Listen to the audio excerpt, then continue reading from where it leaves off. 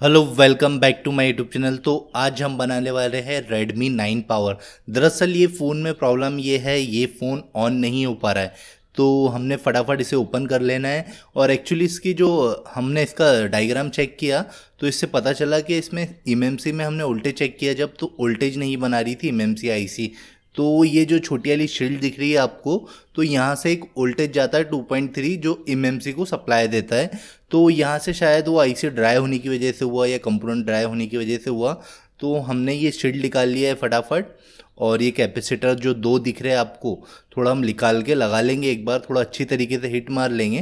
तो देख लीजिए ये हमारे लग चुके हैं और अब हम वापस इसकी शील्ड लगा देंगे। तो शील्ड भी हम इसलिए लगा देंगे वापस कि पता ना चले कि कहाँ काम हुआ है। तो अभी फटाफट फ़ोन पैक करते, ठंडा होने के बाद और हम इसे चेक करेंगे कि हमारा फ़ोन ऑन हो रहा है कि नहीं।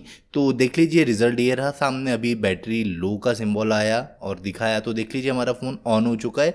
अगर आपको कोई फ़ोन रिपेयर के लिए डालना है तो नीचे जो दिया हुआ नंबर है, उस पर कॉन्टैक्ट ज़रूर कीजिए। अब मिलेंगे आपसे नेक्स्ट वीडियो में। Okay bye bye